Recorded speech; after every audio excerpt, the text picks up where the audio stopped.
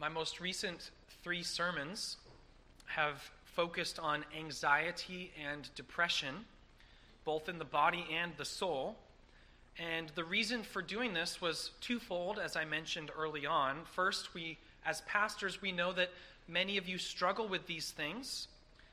And we also know that parents and children often clash in discussing these things, and that the world around us talks about them a great deal. So that was one of the prompts. And the other prompt was our study in 1 Peter chapter 3, where in verse 15, the Apostle Peter reminds us about the hope that is in us. And anxiety and depression seem so opposite to hope, and in many ways they are. Christians have a hope in them, and this hope is part of the remedy or the solution for anxiety and depression. But we often lose our enjoyment of that hope or our testimony of that hope when we fall into sinful anxiety or sinful depression. So we've been addressing this in the past three sermons, and the original plan was to talk about 12 traps to avoid with re- relation to uh, anxiety and depression. And that's become 32. No, just kidding.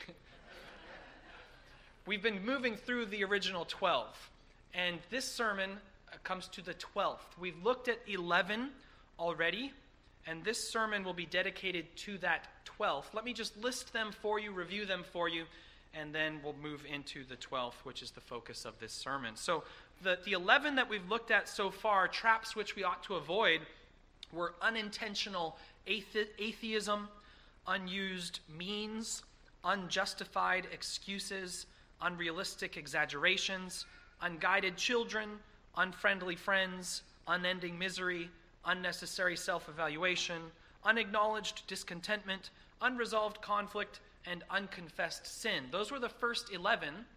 And the 12th, which this sermon is dedicated to, is unprocessed sadness.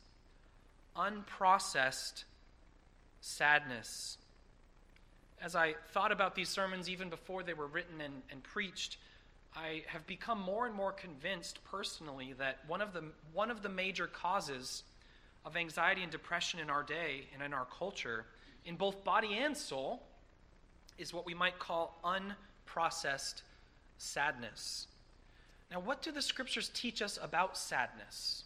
What does the Bible say? What does God's word say about sadness and how we should think about it and respond to it? You may find this sermon very surprising. The overall heading or the title of the sermon is Unprocessed Sadness.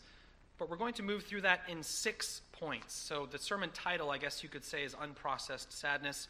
And we're going to have six points dealing with this. Point number one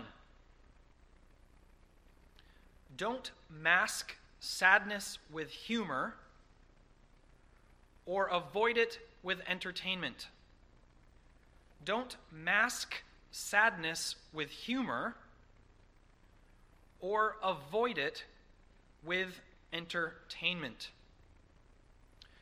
One of the things that is very common in our culture, in our time, is an avoidance of sadness, a very intentional avoidance of dealing with things that make us sad. And one of the ways in which people do this is by masking their sadness with humor. If you're always happy and laughing, you never have to be sad. Or at least no one will know that you are sad. Because if everything's a joke, then nothing's serious. But turn with me to Proverbs chapter 14. Proverbs chapter 14.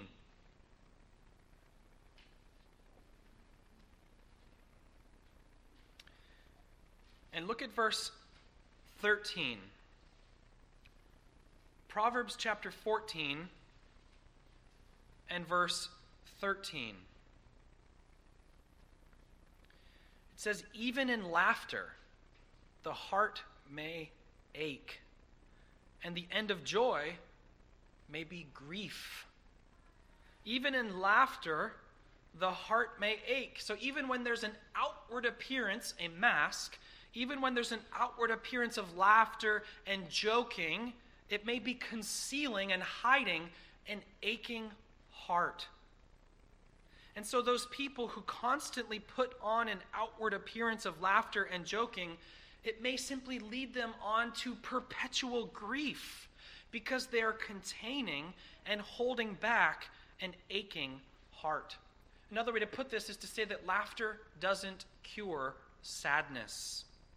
Laughter doesn't cure sadness, and in fact, it may just make it worse by masking it or hiding and concealing it. You're presenting a complete opposite face to your heart. The heart is aching while the face is laughing.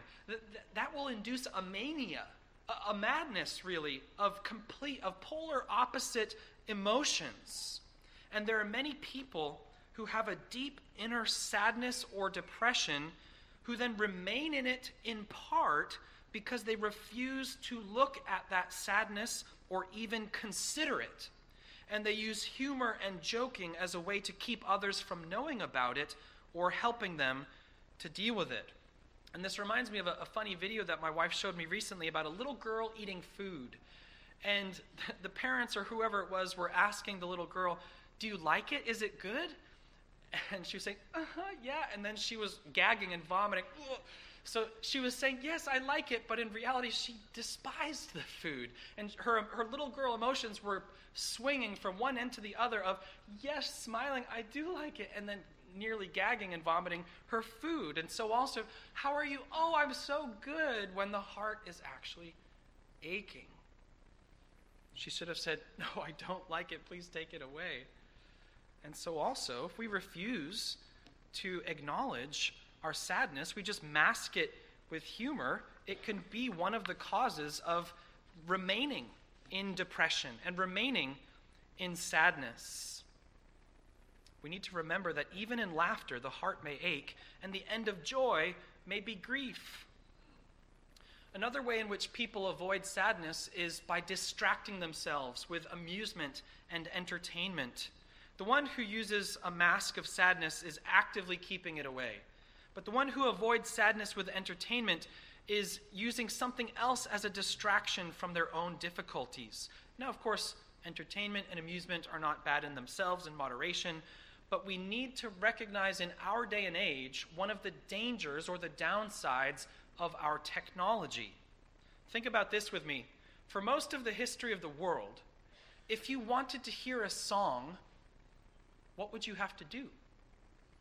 You'd have to find a musician who had a, an instrument and knew how to play it. Maybe you could sing it yourself, but you may not even know a song. and if you wanted to hear a song, you'd have to go to some kind of performance from a musician with a musical instrument. And apart from that, music wouldn't be in your life.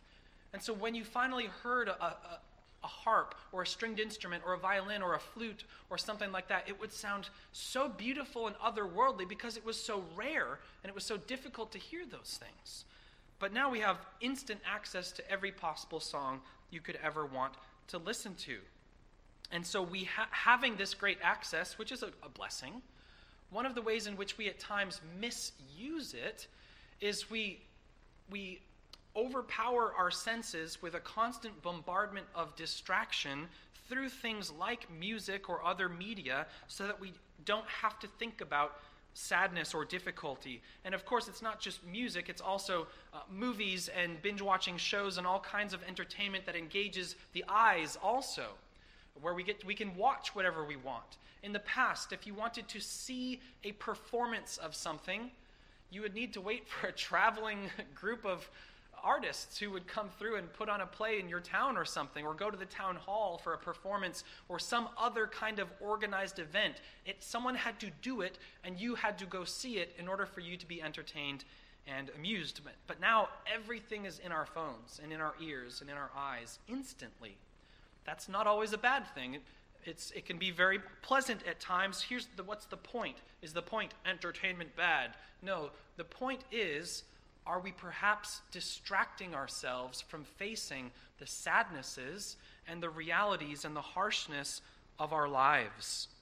Even in laughter, the heart may ache.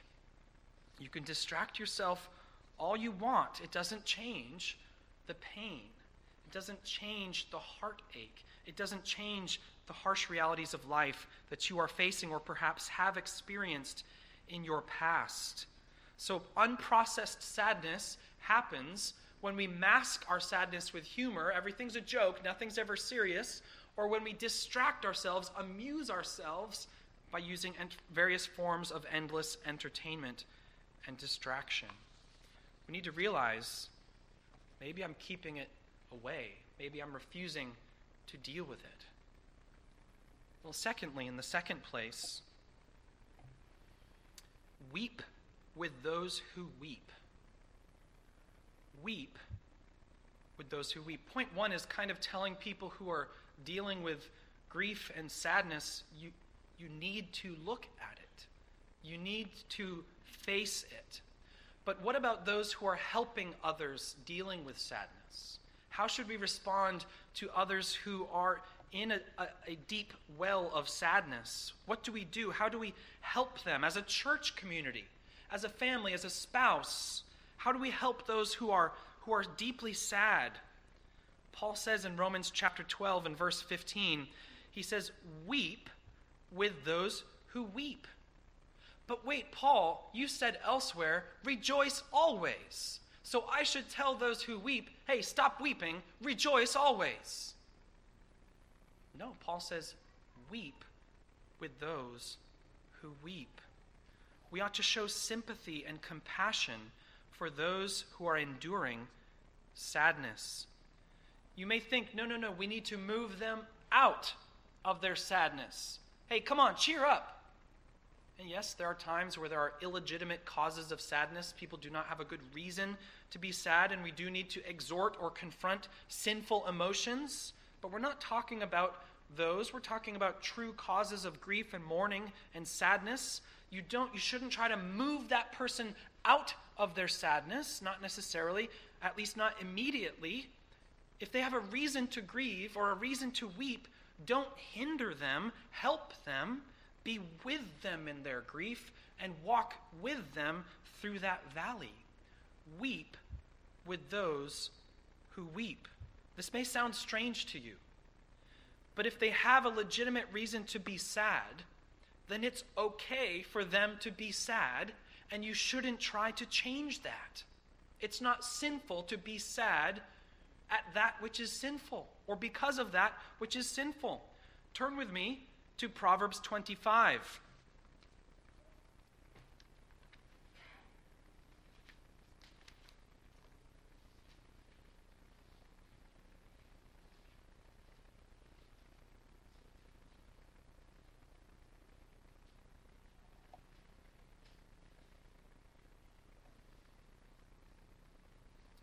Look at verse 20. Whoever sings songs to a heavy heart is like one who takes off a garment on a cold day, and like vinegar on soda. So we have two examples to illustrate the point. One is taking off a garment on a cold day. What helps someone who's cold? Warm clothing. So, the opposite of helping someone who's cold is taking off their coat, taking off their garments. You'd say that's not what they need. They need the garments.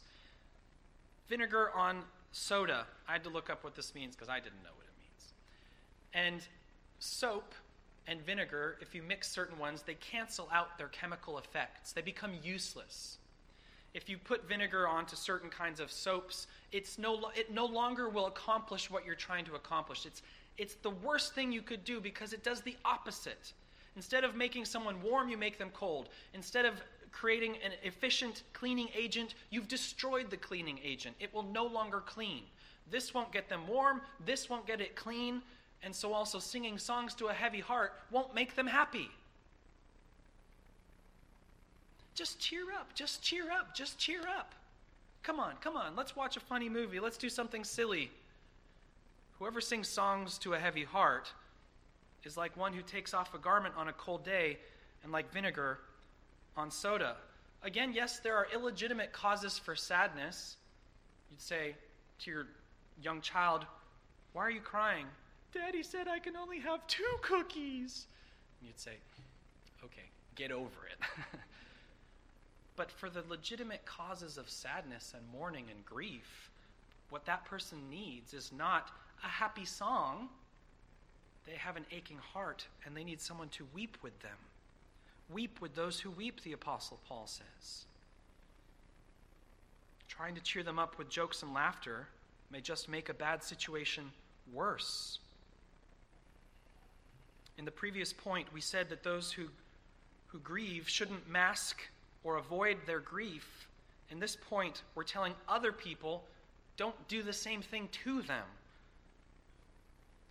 So, how do we help brothers and sisters in Christ who are grieving? We weep with those who weep. We are with them in their time of need. We are a comforting presence.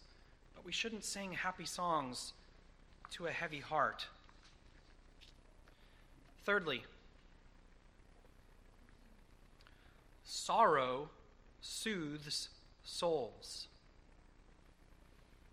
Sorrow soothes souls.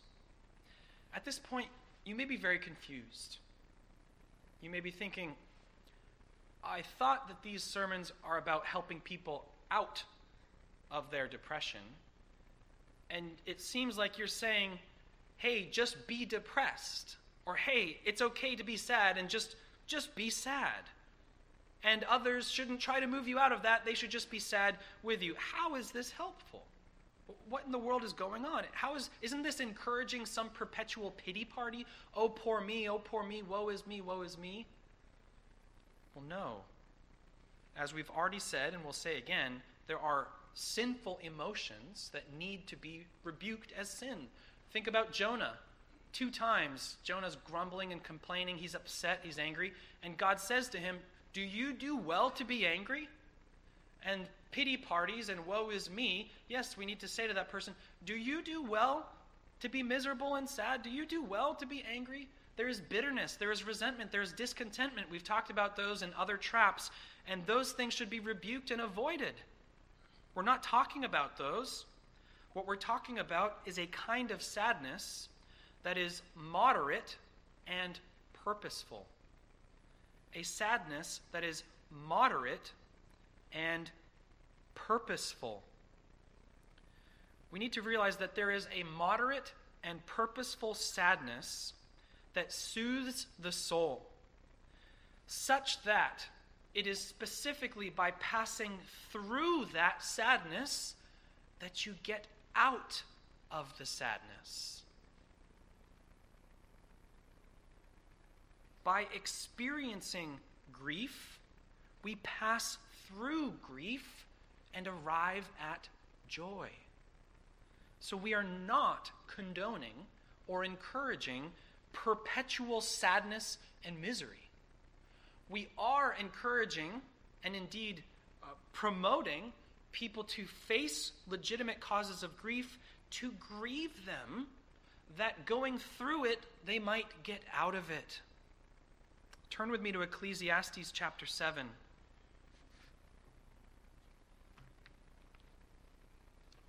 If you're still in Proverbs, it's the next book over. Ecclesiastes chapter 7.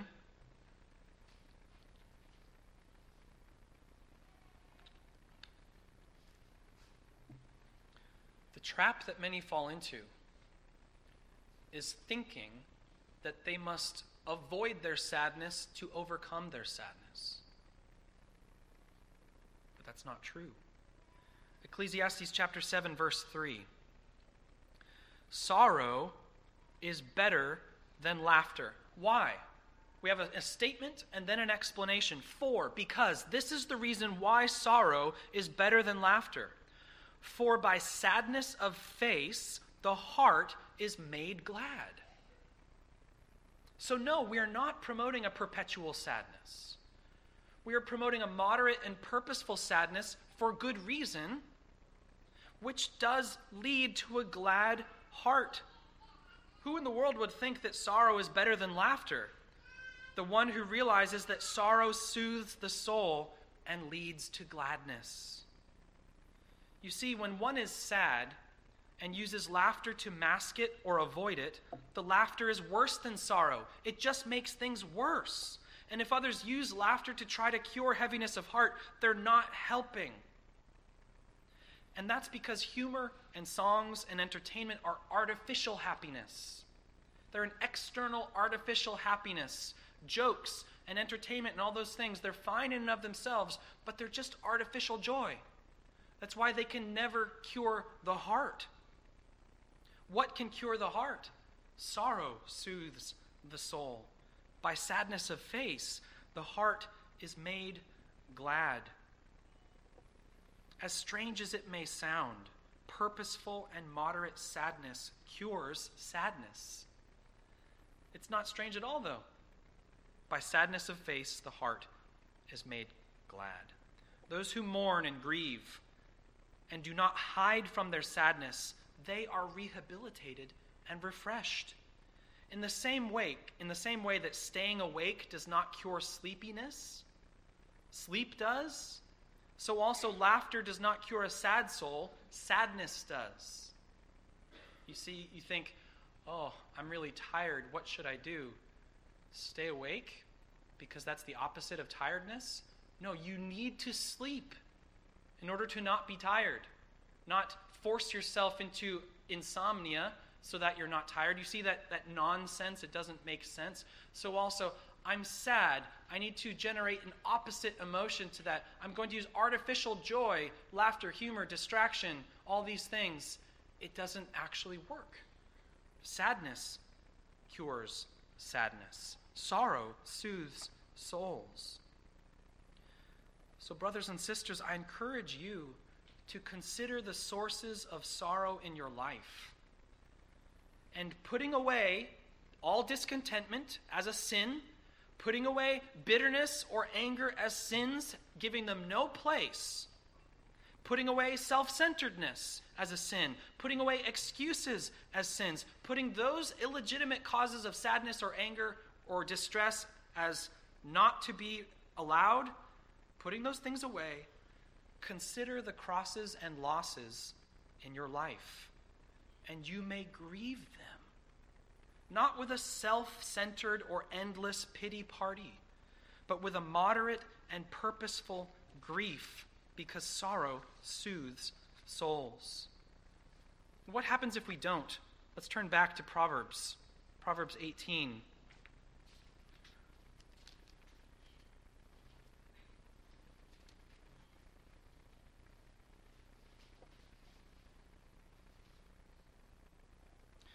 What happens if we don't pass through the sadness in order to arrive at joy? We will live with a crushed spirit. Proverbs 18, verse 14. A man's spirit will endure sickness. So let's pause. You have a sick body with an encouraged heart. Man can handle that. But then it says, but a crushed spirit, who can bear? When your body is wasting away, the heart can remain strong. But when the heart is weak and crushed, who, who can bear that? Who can endure it? Who, who can live that way? We need to have our souls healed. We need to arrive at joy. But what we need to understand is one of the ways in which we accomplish that is by passing through sadness and experiencing sadness on the way to joy. But many view sadness as a, a deep as a lake. They see a pool of water and they think, this is not a pool, this is a, deep, bottomless well of sadness, and I don't want to get in that water. I don't want to get in the pool of sadness because it has no bottom. I will sink and I will sink and I will sink and I will never get out. Or they think of sadness like a door, and behind that door is just an endless path of sadness. I don't want to open that door because it's just endless sadness. It's sadness without a bottom or sad- sadness without an end. I don't want to get in that pool. I don't want to walk through that door.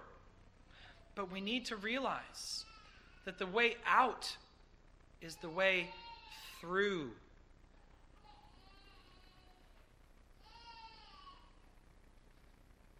And then we realize when we step into the pool of sadness, it's not an abyss, it's a spa. And it does heal. And when we open the door of sorrow, it's not a prison, but a garden behind the door.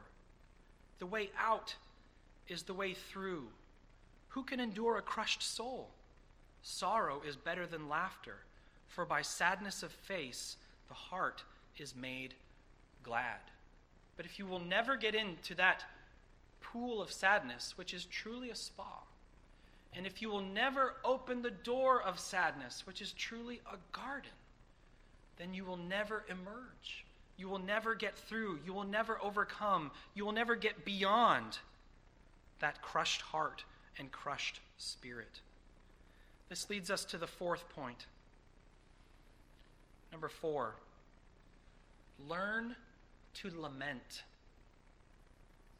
Learn to lament. Part of processing sadness is expressing it.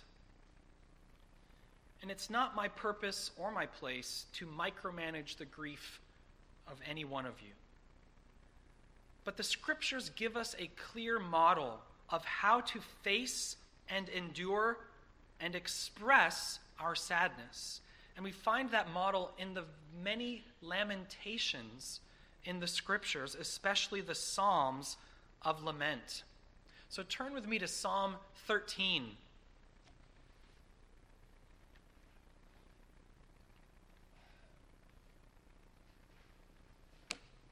Psalm 13. The Psalms of Lament teach us to lament in a godly way. We do not challenge God. We do not defy God. We do not accuse God. But we do express ourselves to Him. We express our fears. We express our doubts. We express our griefs. We confess our sins. We cast our cares upon Him because He cares for us, and we ask Him for help, and we ask Him for mercy. We give voice to our petitions, and we also express our trust in God. Let's read Psalm 13, which there are many examples, but I chose this one because it's a short, a short example. Psalm 13. How long, O Lord, will you forget me forever? How long will you hide your face from me? How long must I take counsel in my soul and have sorrow in my heart all the day? How long shall my enemy be exalted over me? Consider and answer me, O Lord my God. Light up my eyes, lest I sleep the sleep of death, lest my enemy say, I have prevailed over him, lest my foes rejoice because I am shaken.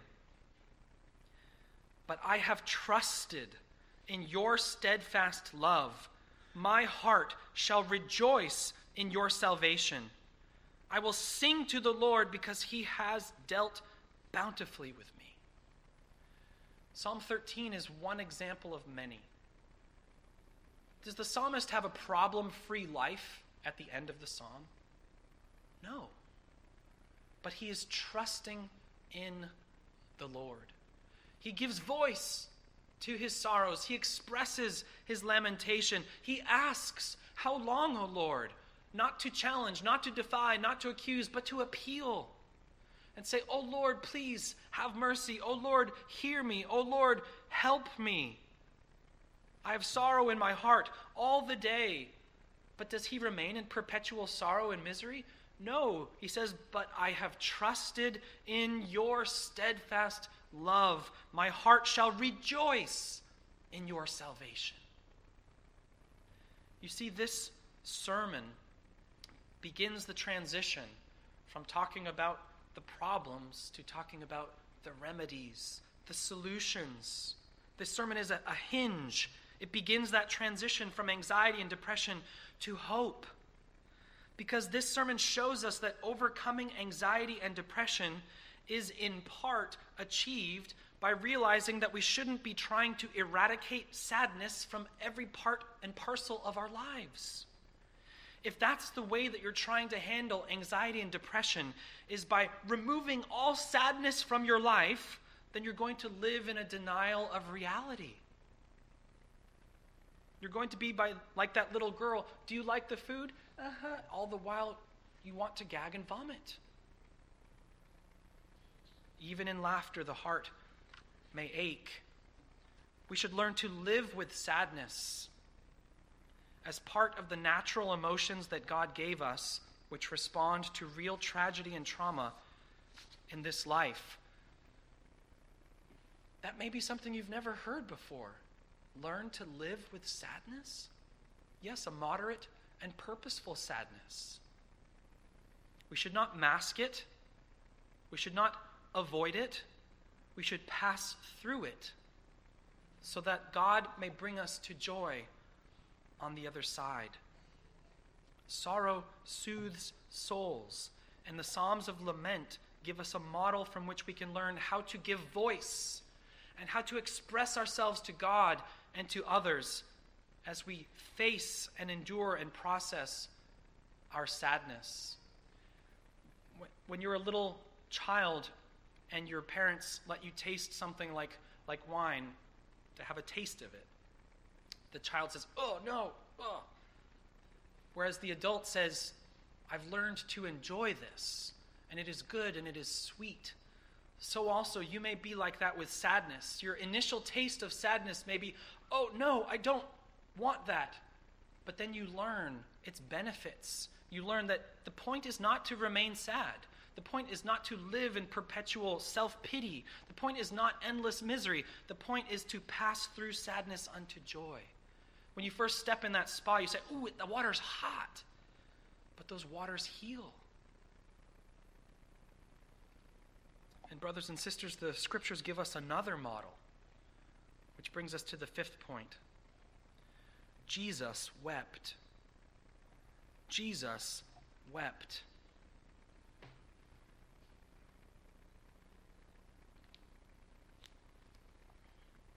In Isaiah chapter 53, we are told about our beloved God, Jesus Christ. And it says in verse 3 of Isaiah 53 He was a man of sorrows and acquainted with grief. He was a man of sorrows and acquainted with grief. And then in the very next verse, it says, Surely he has borne our griefs and carried our sorrows. He knows. He understands, not just with divine omniscience, but with human personal experience. In Hebrews chapter 4, verse 15, it says that Jesus is able to sympathize with our weaknesses.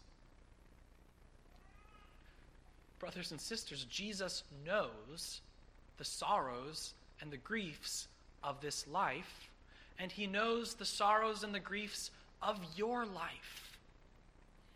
And surely he has borne them and carried them. Jesus is God in the flesh, and he wept when Lazarus died. And he wept over Jerusalem that would not hear him and be gathered to him. And Jesus had compassion on the crowds. He was kind to all, and gentle to the feeble, and caring to the weak. So I will not hide from my grief or mask my sorrow because Jesus wept too. And I want to be like him. He was sad, but he was not overcome by sadness. He mourned, but he was not defeated by mourning. I want to be like him with a moderate and purposeful grief. And when I see the pool of sadness or the door of grief, I will not be afraid to enter because I'm not alone. I'm not alone. Jesus, my great high priest, is with me. And he is able to sympathize with my weaknesses. And he has given to me his comforter his Holy Spirit as a reminder and a guarantee of his presence with me. He wept, and we may weep. He mourned, and we may mourn. He overcame, and we can overcome in him. You're not alone in your sorrow. You're not alone in your grief, and your God understands. Your high priest sympathizes. Speak to him. Give voice to your prayers and to your feelings and to your griefs. He is a man of sorrows and acquainted with grief, but never overcome, never overpowered, never defeated by it. But rather, he prevailed in every way, and in him so may we. This brings us to our sixth and final point the first day of the week. The first day of the week. It's my intention next week to give you four remedies, four remedies for anxiety and depression. But I want you to consider this one for now, the first day of the week, and I, would like you to please turn to John chapter 20. John chapter 20. We just read this morning, a few minutes ago, from the Gospel of Mark about Jesus' burial and that Mary Magdalene knew, she saw where he was buried, which helps us to pick up the reading in John chapter 20. How can we deal with sadness? We see in John 20, verses 1 and following. Now, on the first day of the week, Mary Magdalene came to the tomb early, while it was still dark, and saw that the stone had been taken away from the tomb. So she ran and went to Simon Peter and the other disciple, the one whom Jesus loved, and said to them, They have taken the Lord out of the tomb, and we do not know where they have laid him. So Peter went out with the other disciple, and they were going toward the tomb both of them running together. But the other disciple outran Peter and reached the tomb first. And stooping to look in, he saw the linen cloths lying there, but he did not go in. Then Simon Peter came following him and went into the tomb. He saw the linen cloths lying there and the face cloth which had been on Jesus' head, not lying with the linen cloths, but folded up in a place by itself. Then the other disciple who had reached the tomb first also went in and he saw and believed. For as yet they did not understand the scripture, that he must rise from the dead. Then the disciples went back to their homes. But Mary stood weeping outside the tomb. And as she wept, she stooped to look into the tomb. And she saw two angels in white sitting where the body of Jesus had lain, one at the head and one at the feet. They said to her, Woman, why are you weeping? She said to them, They have taken away my Lord, and I do not know where they have laid him. Having said this, she turned around and saw Jesus standing, but she did not know that it was Jesus. Jesus said to her, Woman, why are you weeping? Whom are you seeking? Supposing him to be the gardener, she said to him, Sir, if you have carried him away, Tell me where you have laid him, and I will take him away. Jesus said to her, Mary. She turned and said to him in Aramaic, Rabboni, which means teacher. Mary Magdalene wept. She was weeping. What was it that brought her weeping to an end?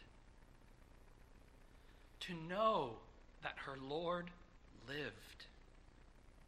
And her tears of grief no doubt turned to tears of joy in a moment as she saw Jesus and embraced him. And then he says, Do not cling to me, because surely she was, she was embracing him, my Lord, my teacher. And no doubt she continued to, to cry, but no longer weeping, tears of rejoicing, tears of joy Jesus rose on the first day of the week, and he has given his church the first day of the week as a regular reminder of his resurrection and a refreshment for our souls because we are his bride. And he says to us, Woman, why are you weeping? Whom are you seeking? You see, there is a joy that overpowers sadness. There is a light that overpowers darkness. There is a medicine that overpowers sickness. There is a strength that overpowers weakness. There is a life that overpowers death.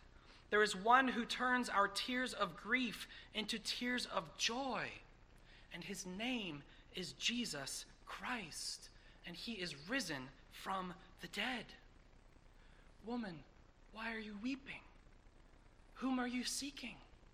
He is risen from the dead. And so, brothers and sisters, when we pass through sadness, it is knowing that there is an end, knowing that it does not last forever, knowing that these tears of grief become tears of joy in and through Jesus Christ. And it is He who heals us, the man of sorrows. It is He who helps us, the one acquainted with grief. And He asks us, He says, Why are you weeping? Whom are you seeking? And He gave us the first day of the week so that He would regularly remind us there is an end. There is an end. I have put an end to all of this. I have risen from the dead. Look to me, look to my light, look to my life, and have joy in me that overpowers and overcomes your sadness, because I have overcome death itself. And in Jesus Christ, our tears do indeed transform from tears of grief to tears of joy. Amen. Let's pray.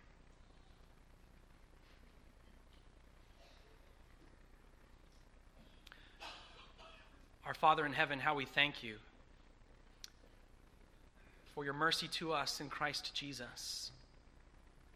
And we pray that you would help us to face the difficulties that you have permitted in our lives and to pass through them and to pass through the experience of them and to pass through the sadness of them that we might come through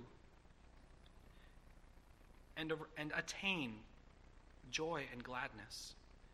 We pray that you would help us to look to Jesus Christ, to set our eyes upon him, and to find our joy and our hope in him and the end of all our sorrows. We pray this in his name, in Jesus' name. Amen.